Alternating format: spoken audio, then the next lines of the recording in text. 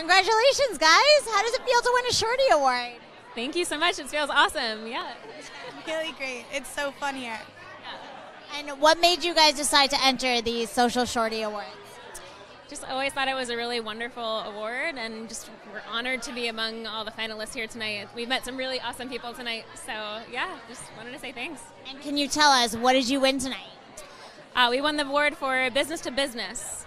So uh, we are both with an organization uh, called Teach Access. So we both actually work at different companies. I work at Google, I work at Verizon Media.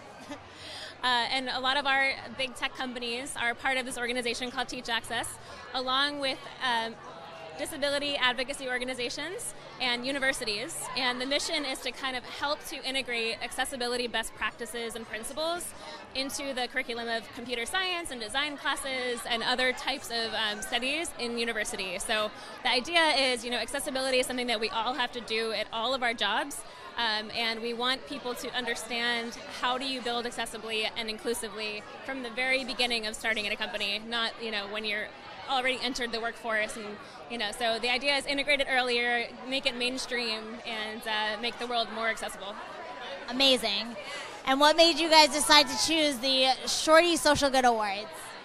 oh Well, it's all about driving creative influences, and the biggest thing with Teach Access is that we're integrating early on with college, universities, and different leaders in the industry. And so we thought the Shorty Awards was a great way of spreading our message and sharing all the great work that the universities, advocates, and industry leaders are doing.